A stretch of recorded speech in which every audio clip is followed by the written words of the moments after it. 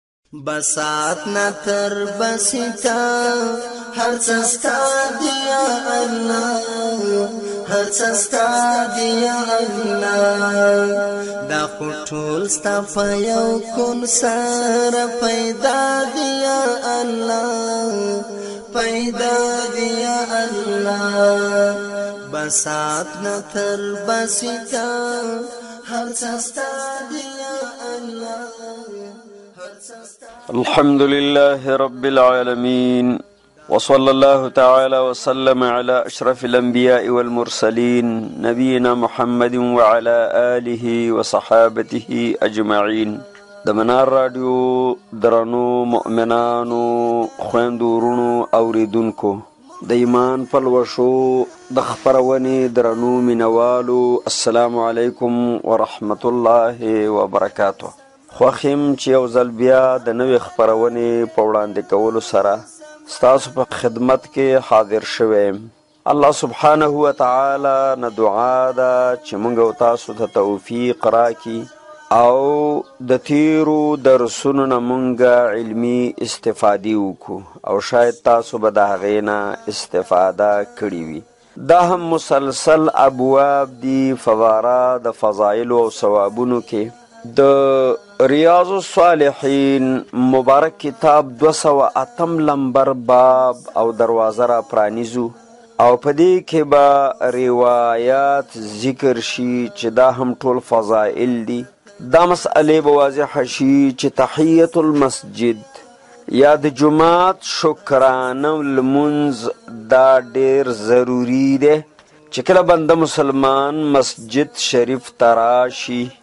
نو غوره دا ده چې دی د شکرانې لمونځ ادا کړي که سنت په ده باندې پاتې سنت دې وکړي دا شکرانه ده که چېرته د فرضو جمع ولاړی نو شکرانه دې نه ادا کوي فورا دې د فرضو په لمونځ کې برخه واخلي بس د ده شکرانه او تحیه ادا شوله خو داسې نه ده په کار چې دی مسجد ته راشي اودس یې کړی وي او ځای په ځای کیني حتی که د خطبې دوران هم شروع شوی وي ښایږي چې دا مسلمان د خطبې په دوران کې په مختصرو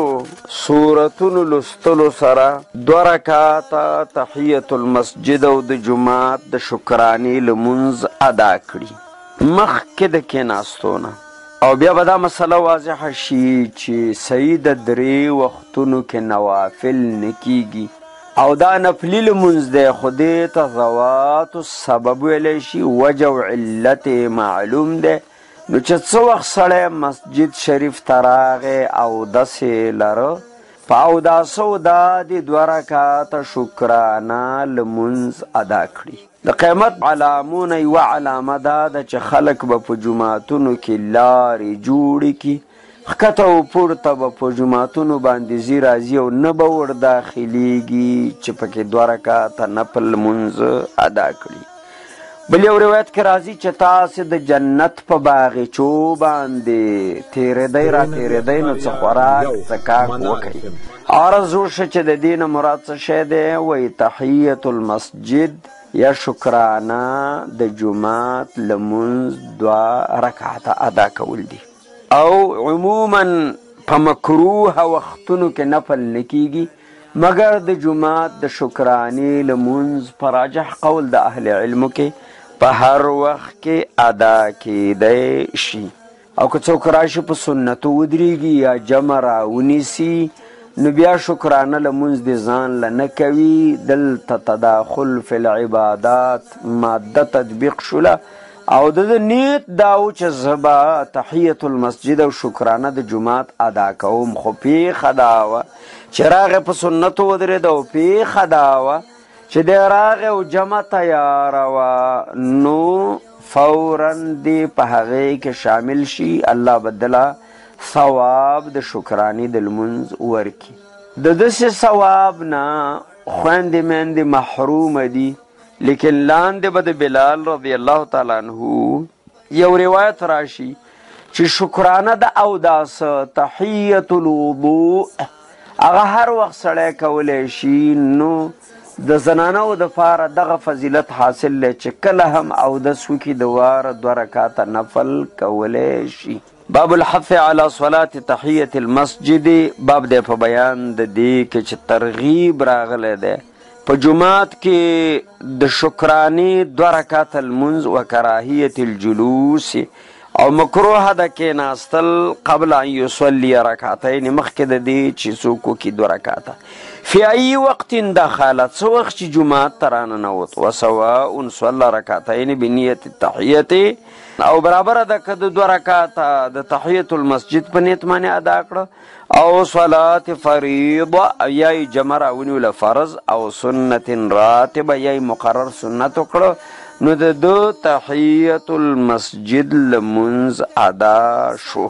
دا تحیت المسجد لمنز هر وخت ادا کې دی شي شکرانه د جمعات او په دې کې مکرو وخت نشته ده او دا دو رکاته ده او دا مستحب لمونځ دی سنت لمونځ دی ضروري او لازمي نه ده لهذا که څوک یې ونکي نو دی تارک د فرضو نه دی تارک او پرېښودونکی د واجبو نه دی دی ګناهګار نه دی چې څوک یې کوي هغه باید منع نه کړی شي حتی او حتی که سړی د سهار سنت په کور کې وکړي بیا مسجد شریف ته راشي او وخت د جمع د ودرېدلو باقي وي جائز او روا ده چې دا شکرانه دوه رکعته تحیت المسجد وکړي او د ده دپاره موقت کراهت چې دی هغه ختم دی کراهت د ده دپاره نشته دی وعن ابي قتاده رضي الله تعالى عنه لا ابو قتاده رضي الله تعالى عنه څخه روایت دی راوی الحديث ابو قتاده الحارث بن ربعي نومېده د د قطې منتظرې د نبی صلی الله علیه وسلم د ګارد خاص او د قطې منتظرې قومندانو انصاری زلمه صحابیو جان نثار او زار قربان په محمد صلی الله علیه وسلم باندې او د هغه نه وروسته مخکې ښي طرف او چپ طرف ته په غزاګانو کې حتی په حجة الوداع کې د حج ونک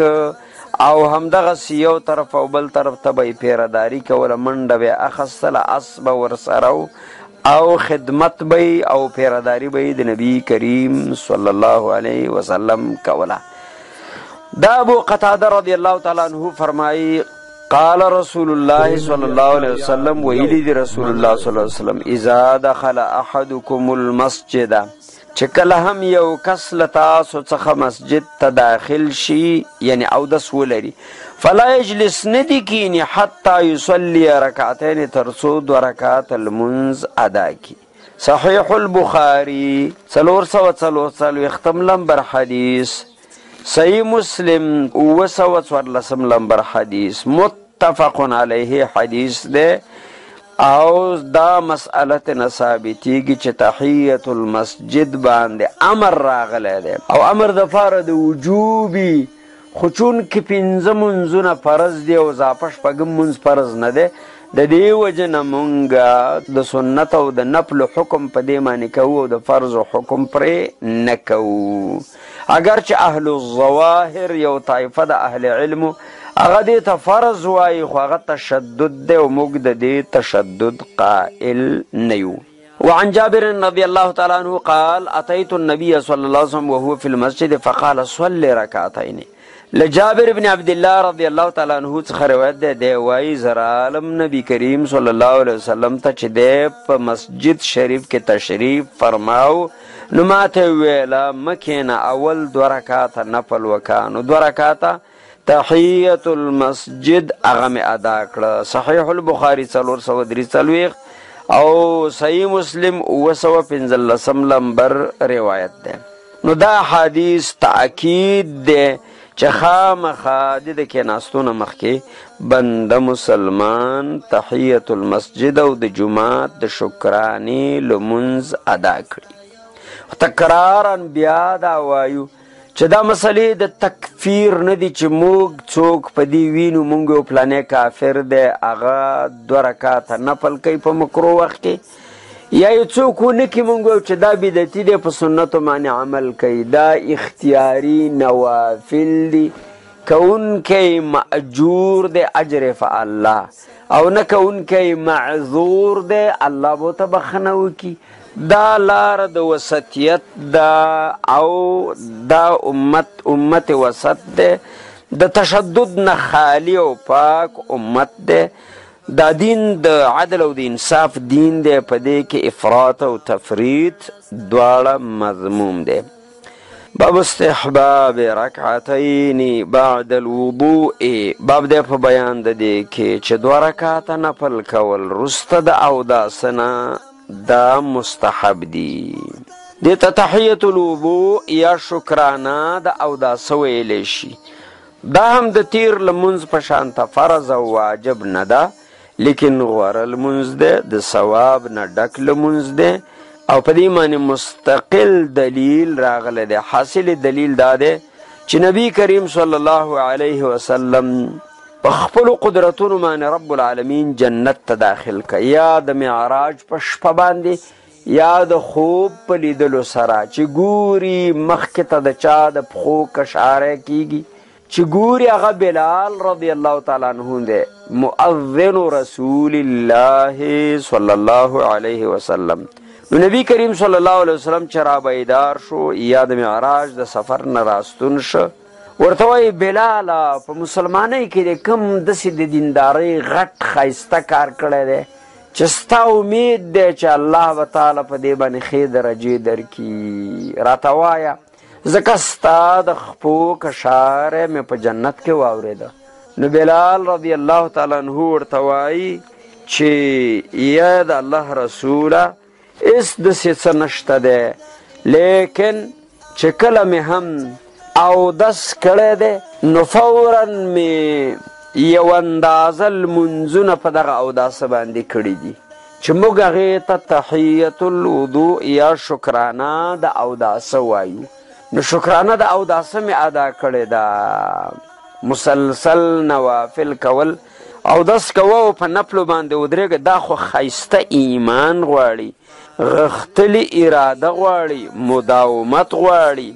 نو عوض د دې جنت دی چې بلال رضی الله تعالی عنه ته دغه شرف حاصلو ما او تا ته هم میدان مخ ته پراخه دی چې کله هم موږ نارینه یا زمونږ خویندې میندې زنانه هغه اودس وکړي نو فورا دې د الله په توفیق باندې په نفلو باندې ودرېږي مخکې د فرضو د ادا کولو نه عن ابي هريره رضي الله تعالى عنه د ابو هريره رضي الله تعالى عنه څخه روایت ده ان رسول الله صلی الله علیه وسلم قال لبلال چې نبی کریم صلی الله علیه وسلم بلال صاحب ته ویل یا بلال یا بلال حدثني بارجع عمل عاملته في الاسلام ما ته بیان کا غوره د امید نه ډک هغه عمل د دیندارۍ چې تا په اسلام کې کړی وي داسې یو عمل راته راوښیوه چې کړی وي تا او کار وي د دیندارۍ او ته ډېر امیدوار یې چې الله به دې په هغې باندې وبخښي فإني سمعت دفن عليك ځکه ما ستا د پښو کشاری واورېده بین یدی فی الجنت د ځان نه مخکې په جنت کې قال ما عملت عملا ارجا عندي ما بل داسې یو عمل نه دی کړی چې ډېر د امید والی زما په نیز من د دې عمل نه هغه مې دا کړی دی چې اني لم اتطهر طهورا چې ما کړه هم طهور اودس او پاکوالی نه دی کړی یا غسل اودس فی ساعت من لیل و نهار په هیڅ وخت یا د شپې یا د ورځې کې الا صلیت بذلک الطهور مگر کړي مې دي په دغه پاکوالي باندې او د سو غسل باندې ما کتب لي ان اصلي څون چې د الله د لورې ما ته نفلونه نوشتی نو بس مقرری هغو نه نفلونه مې پې کړي دي متفق علیه او دا لفظ بخارف دی امام نووي فرمایي چې الدف بالفاء صوت النعل کشاره د پیزار وحرکته علی الارض او کشاره په ځمکه باندې والله اعلم ام دغه مراد دی الله په خپویدونکی دی حدیث نه دا خبره ثابته شوله چې دا اوداسه او د غسل نه بعد خای چې مسلمان په نوافلو باندې ودرېږي او دې ته تحیت الوضو ویل کېدی شي او دا هم مکروه وختونه ماتوي هر وخت کې د دې کول جایز دي دوه سوه لسم لمبر باب ته ورسېدلو د الله په توفیق سره او دا باب هم د نورو بابونو غوندې ډیر زیات مهم دی او په دې کې هم علمی مسائل هغه ترجمه کیږي په دې باب کې به دا واضح شي چې د جمعې د ورځې غسل کول د هر مسلمان بالغ د پاره ضروري او لازمي دي او ځان خوشبویه کول ضروري او لازمي دي پاک او سوچا کالی غستل ضروري او لازمي دي د وخت د جمعې مانځه ته تګ د نارینه او د پاره ضروري او لازمي دي او د جمعې ورځ د دعاګانو د قبلېدلو ورځ ده او دا هغه ورځ ده چې په دې کې درود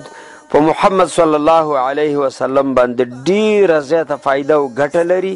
او په دې کې یو وخت د اجابت ده او دا د الله د ذکر ورځ ده باب فضل یوم الجمعه باب ده په بیان د جمعې د ورځې د فضیلت او ثوابونو کې و وجوبها او دا چې جمعه فرض ده والاغتسال لها او باب دی په بیان د دې کې چې د جمعې ورځې د پاره غسل کول بهترین کار دی والتطیب والتبکیر او ځان خوشبویه کول غوره عمل دی تیل لګول اختان غوړول ګیره مبارکه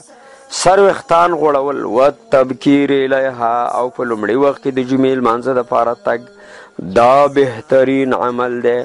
و دعا یوم الجمعه او دعا کول په ورځ د جمعې الله ته سوال او زارې نه کول دا بهترین عمل دی والصلاة علی النبی صلی الله علیه وسلم او درود په نبی صلی الله علیه وسلم باندې دا بهترین عمل دی وبيان ساعت الاجابه او په دې باب کې به واضح شي یو ټیم د دعا د قبلېدو واستحباب اکثار ذکر الله بعد الجمعه او چې د جمعې لمونځ ادا شي نو بیا وروسته د الله اذکار مسنون اذکار بعد صلات الجمعه اذکار او د ماښام اذکار لوستل ډیر ګټور او پایدناک دي په دین کې د ثوابونو د راټولولو او د اجرونو د ګټلو څه کمی نشته او د مسلمان مخې ته ډېرې دروازې خلاصې دي چې دی کولی شي چې په لږ وخت کې ډېر ثوابونه راجمع کړي چې یو هم د دغه ثوابونو د جمع کولو نه ورځ مبارکه د جمعې مبارکه ورځ ده چې د دې ورځې اهتمام کول، په دې ورځ باندې غسل، ځان خوشبویه کول، ښه کالي اغوستل، د وخته جمعې مانځه ته تګ او الله ته زارۍ کول او ذکر کول دا ټول هغه څه دي چې الله ته قدرمن دي مسلمانه حرس وکه چې د جمعې ورځ د نورو ورځو په څیر ونه شمېرې دا د محنت او د خوارۍ الله ته د زارۍ ورځ ده الله عزوجل په دې مورد باندې قران کریم سورۃ الجمعه لسم لمبر آیت کې فرمایي اتیشتمه سپاره سورۃ الجمعه لسم لمبر آیت اعوذ بالله من الشیطان الرجیم قال الله تعالى فإذا قضيت الصلاة فانتشروا چې کله ادا کړی شي لمونځ د جمعې نو خواره شي فی الارض په مخ د ځمکه وابتغو من فضل الله او ولټوئ فضل د الله چې حلال رزق دی واذکروا الله کثیرا او د جمعې د مانځه نه وروسته الله ډېر زیات یادوئ ځکه د الله پیرزو پتا وشوه نو اوس به شکر ادا کول غواړي شکر د الله ذکر دی لعلکم تفلحون د دې دپاره چې تاسو کامیاب شئ نو فلاح او کامیابي د هغه ذاکر بنده دپاره ده چې د جمعې د مانځه نه وروسته ګرځي راګرځي په خپله خوارۍ او غریبۍ پسې او الله یادوي که د تلاوت په شکل کې دی که د ذکر په شکل کې دی که د دعا په شکل کې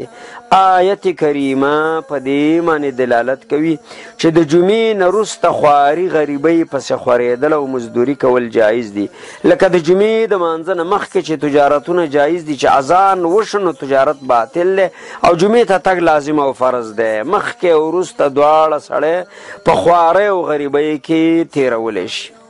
وعن ابي هريره رضي الله تعالى عنه لا ابو هريره رضي الله عنه څخه روایت دی قال دی وی قال رسول الله صلى الله عليه وسلم ویل دی رسول الله صلى الله عليه وسلم خير يوم طلعت عليه الشمس يوم الجمعه بهترين ورځ په ورځو د عالم کې چې لمر پرې راختلی دی ورځ د جمعې ده فيه خلق آدم په دې کې پیدا شوی دی آدم علیه الصلاة والسلام وفيه ادخل الجنة او په دې جمعې ورځ کې داخل شوی دی د جنت ته وفيه اخرج منها او د جمعې په ورځ د جنت نه راایستلی شوی دی یعنې دا یوه تاریخي مهمه ورځ ده نو دې کې تاریخي مهم عبادتونه پکار دي وعنه رضی الله تعالی عنہ قال قال رسول الله صلی الله علیه وسلم یو زور رسول الله صلی الله علیه لمبر حدیث لا ابو هريره رضی الله عنه څخه روایت ده دی وایي چې رسول الله صلی الله علیه وسلم فرمایلی دي من توضع فاحسن الوضوء چا چې اودس وکړ په ښکلي طریقه باندې ښکلي طریقه باندې اودس کونه دا ده چې مناسب اوبه استعمال کی او د اوداس اعضا او غړي ټول ووینځي او مسنون اذکار چې په اول کې بسم الله په منځ کې اللهم اغفر لي ذنبي وسع لي في داري وبارک لي في رزقي په آخر سر کې اشهد ان لا اله الا الله وحده لا شريك له واشهد ان محمدا عبده ورسوله اللهم اجعلني من التوابين واجعلني من المتطهرين دا بهترین او داس ده چا چې او زکو بهترین او داس یو ثم الجمعه او بیراغ مسجد شریف ته جامع جمعه ته د جمعې د ادا کولو د پاره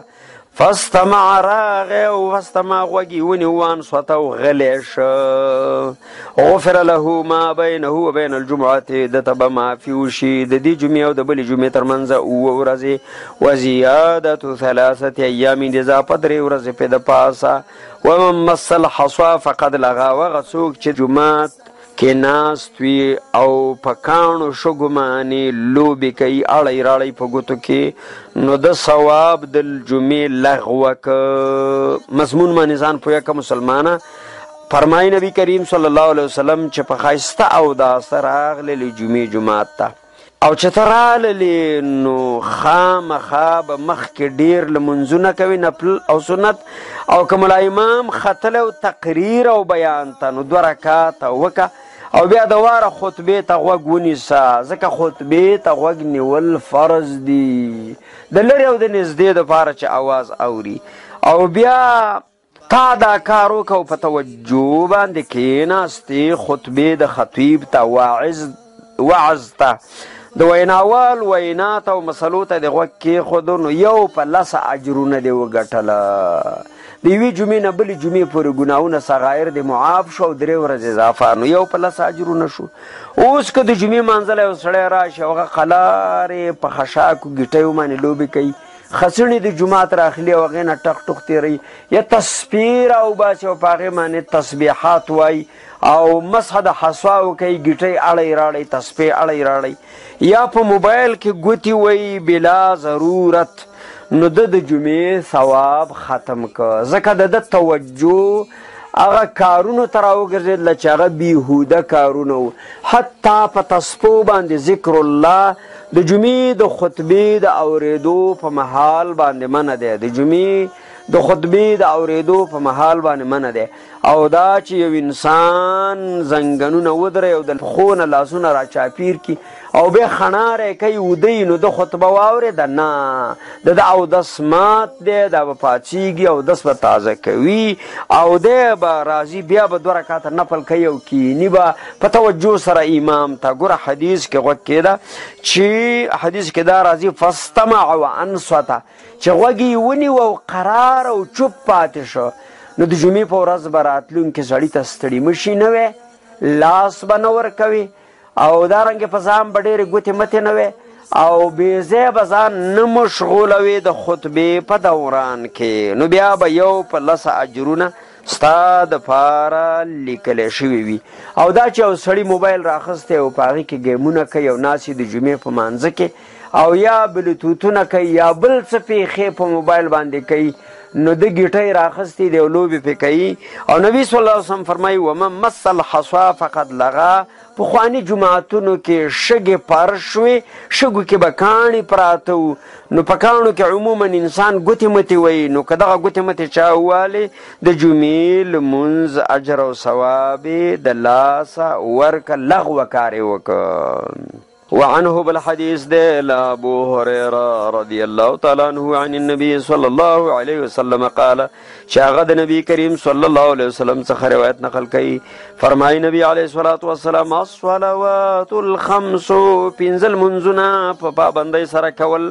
والجمعه او جمعې لمونځ ادا کول الی الجمعه د بل جمعې پورې و رمضان الی رمضان او یو روژه د بل روژې پورې نیول یعنی هر کال رمضان روژه نیول مکفرات ختمون کې دي مکفرات ختمون کې د ګناونو دی لما بینهن دغه مودې چې په دې منځ منځ کې صادر شي د انسان نه دغه ټول صغایر په لغوه کیږي زه جوتونې به تل کبایرو چې پرهیز وکړی شي د غټو ګناهونو نه غټو ګناهونو نه ډډه وکړی شي نو واړه ګناهونه د جمعو په منځونو د پنځه وخته مانځه په منځونو د روجو په نیولو باندې واړه ګناهونه معاف کیږي مسلمانه خو د غټې ګناهونو دپاره چې غیبت دی او دارنګې قتل دی او دارنګې غلا ده وغیره ده او زنا ده والعیاذ بالله سبحانه وتعالی د هغې به مستقلې توبې ته ضرورت او پردی حق سپارېدل دا به لازمي وي وعنه او دا څلورم لمبر حدیث یو زر یو سل پنځوس هم له ابو هریره وعن ابن عمر او هم د ابن عمر رضی الله عنهما اجمعین څخه روایت دی چې انهما د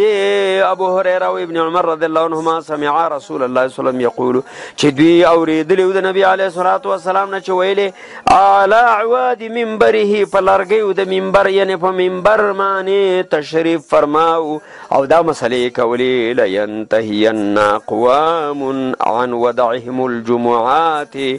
دا ځینې خلک چې مسلسل جمعې منځونه نه کوي روغ رمټ او په وطني هیڅ مشکل ورته نه یو جمعې منځ نه کوي دا خلک د دې نه قلار شي نور د لمونځونو د جمعو ته ادامه ورکي بر سر منبر محمد رسول الله صلی الله علیه وسلم اعلان فرمای چې خلک جمیل منزونه مپرې دی ادامه ورکي جمیل منزونه ته حاضر شي کنه راځي او لا یختمن الله علی قلوبهم او یا به مهر لګي الله د دوی په زړونو باندې مهر د منافقت مراد ده ثم لا یکونن من الغافلین بیا به دا خلک شي د غافلانو د جملې نه غافلان هغه څوک دي چې الله نه یادوي د جمعې لمونځ نه کوي نو دا صفت خو د کفارو او د منافقانو دی نو هغه انسان عملی منافق دی یا الله توبه چې هغه ته هیڅ عذر نشته دی هغه د جمعې لمانځه له نه راځي یو روایت کې راځي چې درې جمعې چا مسلسل بلا عذره پرېښودې درې جمعې منځونه د یوې جمعې ته حاضر نشه بلې ته حاضر نشه بلې ته حاضر نشه هیڅ شرعي عذر یې مخې ته موجود نه و خو د تنبلۍ او کاهلۍ او د لټۍ د وجې نه جمعې لمونځ له رانغی نو دا سړی به په منافقانو کې ولیکلی شي دلته یو مهمې مسئلې ته اشاره کوو هغه دا ده چې د افغانستان په ډیرو ولسوالیو کې او په لرې اطرافو کې او په بانډو کې خلک د جمعو لمونځونه نه کوي حتی او حتی مسلمان پیدا شي مسلمان رالوی شي او د خپلې ولسوالۍ نه بهر ونه وځي نو دا څونه شپېته کاله اتیا کاله زندګي یوه ورځ د جمعې لمونځ ونه کړي د اختر لمونځونه کی او اخوندانو ته وایي چې د جمعې لمونځ نه کیږي دلته پخ نسته دلته دروزګر نسته دلته فلان او علان نسته او دا شاری سیمه نه ده په دې کې د جمعې لمونځ نه کیږي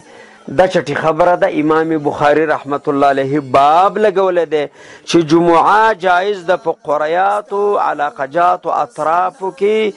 چې څو مسلمانان راټولیږي او هغه لمونځ کوي نو د جمعې لمونځ هغوی ادا کولی شي حتی د زندان خلک په خپلو کوټو د زندان کې که یو بل پسې اقتدا کوي که د هرې کوټې والا ځان له ځان له جمعه مونځ کوي نو ورته روا ده چې د جمعې منځو کې البته که نظام کې سختي وي او نه پرېږدي او سړی تنګوي په دې باندې چې تاسې ولې په خپل سر جمعې کوئ د جمعې د پاره جماعت شرط دی دا اله شرط دی چې انسان لاسرسی کولی شي نو که د نظام سختی وي دا اضطرار او مجبوریت دی هلته زندانی ته رخصت دی چې جمعه پریږدي او ویې نکي خو چې کله په نظام کې اجازه تي چې کوټه کې جمعه کولی شي یا د زندان جماعت ته وتلی شي نو فرض او لازم ده په ده باندې چې جمعه اباده کړي او د جمعې لمونځونه وکړي په دې روایتو کې ډېر تأکید د دې راغلی دی چې د جمعې لمونځونه به کوئ، خامخا به یې کوئ او دا د قضایانو نه ځان وباسئ، ادا کړئ جمعې لمونځونه او که نه الله به ستاسې په زړونو باندې مهرونه د غفلت لګوي. نن چې افغانستان نه جوړېږي او امن و امان نه راځي او ټول خلک غافل دي او بدامنه دي، یوه وجه پکې دا ده چې په اطراف او ولسوالیو کې اخونان خلک د جمعې لمونځونو ته نه پرېږدي مؤمنانو ورونو چېرته چې استی د عمر فاروق رضی الله عنه سرتاسري مکتوب هغه صادر شوی و د فاروق اعظم رضی الله تعالی عنه په دور خلافت کې او په هغې کې لیکلي چې ان جمعو حیث ما کنتم چرته چې اوسئ مسلمانانو هلته د جمعې لمونځ ادا کړئ بانډې والا په بانډه کې اطراف والا په اطرافو کې ښاریان په ښار کې البته د جمعې جماعت ترصد لازمی دی داسې نه چې په کلی کې لس جماعت دی نو لس جمعې به پکې کېږي دا لس واړه د یو ځای ته راتاو شي یا بانډې وي اطراف وي لرې لرې او په هغې کې هره بانډه کې لمونځ کېږي دا غلطه ده څو بانډو والا دې راجمع شي او په یو ځای دې جمعې لمونځ ادا کړي یو زر یو سل او پنځوستم نمبر حدیث دی وعن ابن عمر رضی الله تعالی عنهما ان رسول الله صلی الله علیه وسلم قال اذا جاء احدكم الجمعه فليغتسل ابن عمر رضی الله تعالی عنهما فرمایي چې یقینا رسول الله صلی الله علیه وسلم فرمایلی دي چې کله پتا سو کې او تن د جمعې مانزه د پاره راضي نو هغه لا پکار د فلغ تسل هغه د اول غسل کی صفا لباس صفا بدن باندې دراشي چې د بدبوئی د وجنه خلق پازاب نشي وعن ابي سعيد الخدري رضي الله تعالى عنه لابو سعيد الخدري رضي الله تعالى عنه څخه روایت ده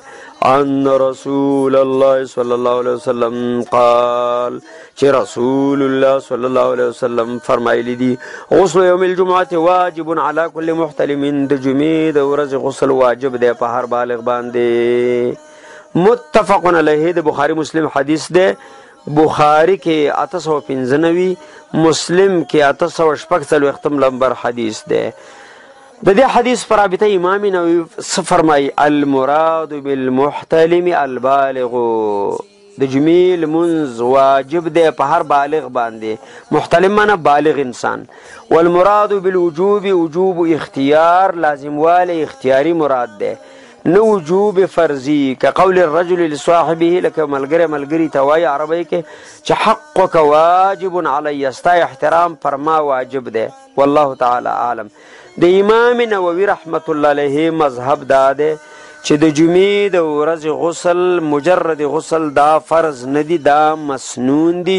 او په سنتوالي باندې اجماع د امت دا لیکن ځنې شاز علماء کرام د امت وای چې نه د جمعې غسل فرض ده عبد الله ابن عباس رضی الله تعالی عنهما حقیقت څرګند کړی دی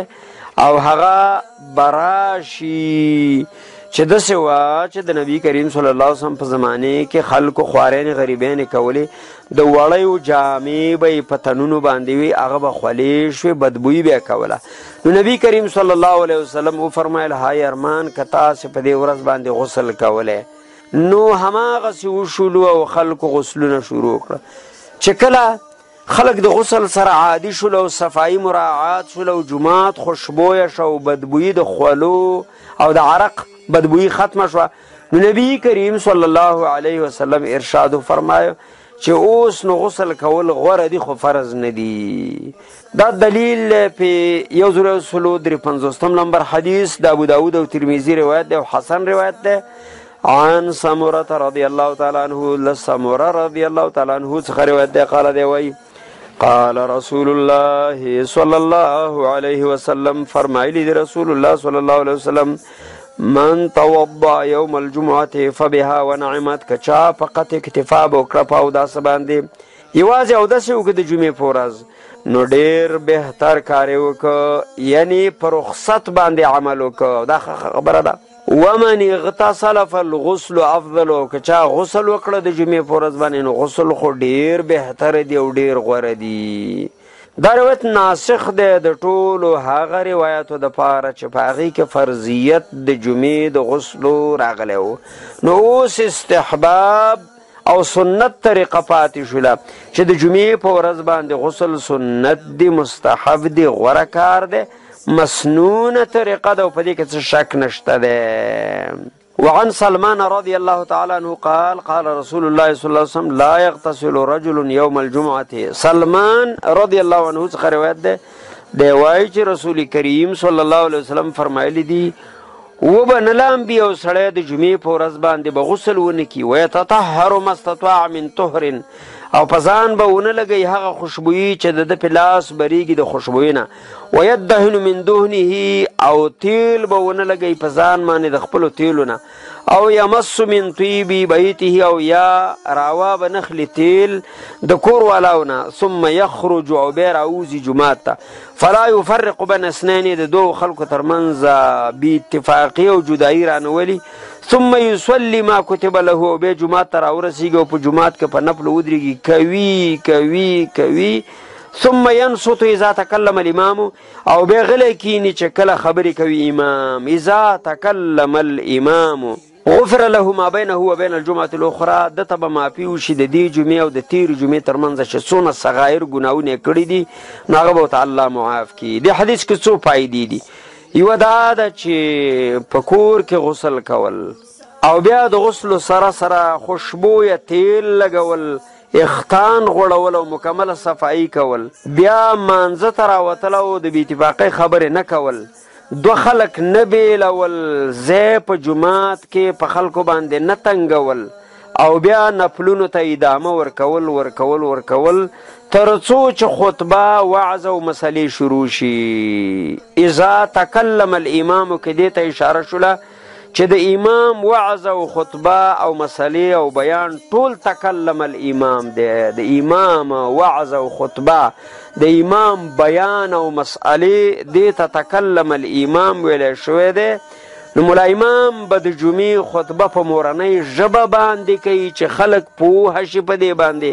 او په دې معنی حنفي علما کرام د هر چا نه اول لمبر قائل دي دا کارونه که چا وکړه نو ده ته به الله ټول صغیره ګناهونه معاف کړي د یوې جمعې نه واخله د بلې جمعې پورې او درې ورځې په اضافه نو دا ډېر بهترین او ښایسته حدیث دی او په دې کې دا فضیلت ثابت شو چې الله عز وجل بخونکی د ګناهونو د بنده دی الله عز وجل د ده درجې بلندوي چې کله په کور کې سړی اودس وکړي او غسل وکړي او بیا مسجد شریف ته ووځي وعن ابي هريره رضي الله تعالى عنه یو زر یو سر پنځه پنځوستم لمبر حدیث ته راوی الحدیث من فقهاء الصحابه قاضي المدینه شاگرد احادیث رسول الله صلی الله علیه وسلم ابو هريره رضی الله تعالی عنہ ده ان رسول الله صلی الله علیه وسلم قال ده فرمایي چې بشک نبی صلی الله علیه وسلم فرمایلی دي من اغتسل یوم الجمعه غسل الجنابه چا چې غسل وکړه د جمعې په ورځ دسې غسل د صفائی په لحاظ لکه سړی چې د جنابت غسل کوي ثم راح فی الساعت الاولی او بیا په لومړني وخت کې لاړ مسجد ته فکانما قرب بدنه د دونه ثواب وګاټه لکه چې د خیرات کړی وي یو وخ د الله په لار کې ومن راح فی الساعت الثانیه او هغه څوک چې لاړ د جمعې مانځه ته په دویم ټیم کې فکانما قرب بدنه نو ده دونه ثواب وګاټه لکه هغوی مال چې خیرات کړی وي ومن راح فی الساعت الثالثه هغه څوک چې په اوداسه او په غسلو باندې له کوره ووته او دریم ساعت د جمعې شروع شوی و فکانما قرب کبشا دون اجر یې وشو لکه ده چې یو ګډی د الله په لار کې قرباني کړی یو صدقه کړی اقرن ښکرور ومن راح فی الساعت الرابعه څوک چې په څلورم ساعت باندې جمعې مانځه ته ووت فکأنما قرب دجاجة د دونه ثواب وګټه لکه چرګ چې د الله د رضا چاله ورکړي وي صدقه ومن راح فی الساعة الخامسة او څوک چې په پنځم ساعت کې ووت فکأنما قرب بیضة د دونه اجر وشه لکه د چې یوه هګۍ هغه د الله په لاره کې صدقه کړي فاذا خرج الامام چې ملا امام راوځي د مسلو او د وعظ د فاره او ملائکان په دروازو کې ناست او لومړي لومړي راتلونکي لیکل او ثوابونه ول لیکل خو چې فاذا خرج الامام چې دراوتو د زین راوز امام منبر ته او وعظ شروع کې حضرت الملائکه نو راټول شي ملائکان خواره واره د جمعات د دروازو نه یستمعون الذکر او خطبه د مولا امام ته غوږ نیسی دا اجرونه ثوابونه د هغه چا د پاره دي چې د مولا امام د خطبه د شروع کېدو نه مخکې راشي صحیح حدیث دی چې ورځ دوله ساعت ده او دغه ساعت په توقیت زوالی سره ده چې یو بجې د سهار د راختونه شروع کیږي او شپږمه بجه یې په زوال باندې تمامیږي شپږ ساعته د زوال نه مخکې او شپږ ساعته د زوال نه وروسته ټیم دی چې دا سړی حساب کړي نو تقریبا د لمر د راختو نه مخکې مخکې یو ساعت تمامیږي غسل الجنابت غسلا که غسل الجنابت فی صفت د دین مراد هغه غسل دی چې هغه پوره د پاکۍ والا غسل وي لکه سړی چې د جنابت د رفع دپاره څنګه غسل کوي درنو مؤمنانو خویندو وروڼو د جمعې جماعت د ثوابونو د ګټلو حرس وکي د الله کورونو ته په لومړنۍ وختونو کې ولاړ شي چې مقرب ملایکان مو په راجسترو او په حاضرۍ کتابونو کې نمونه نوشته کی سره د اجرونو الله عز وجل دې زموږ ټول ملت ته د جمعې د لمونځونو د کولو توفیق ور په برخه کړي او د دې لمونځونو د برکته دې الله په خپل احسان باندې په هیواد کې سوله امن ورورګلي اتفاق او اتحاد د ټولو افغانانو ترمنځ راولي تر هغه چې بیا ستاسو په خدمت کې د منار راډیو درنو اوریدونکو حاضرېږم